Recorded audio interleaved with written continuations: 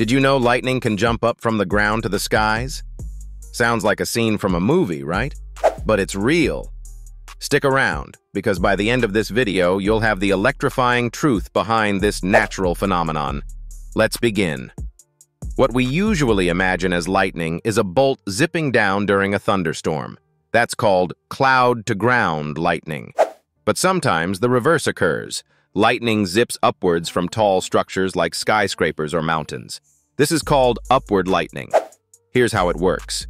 When a storm brews overhead, the base of the cloud becomes negatively charged while the ground beneath it builds a positive charge.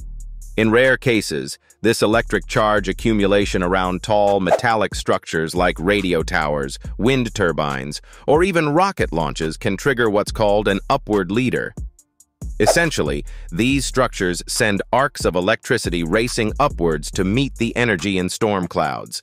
It's as if the ground is saying, I'll meet you halfway. So, how rare is this?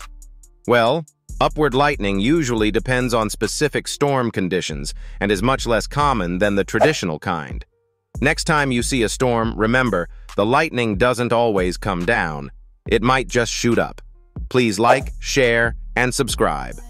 This outstanding video was crafted by VidWiz. Want your own standout videos like this for fun or profit? Click the link in the description to get started today.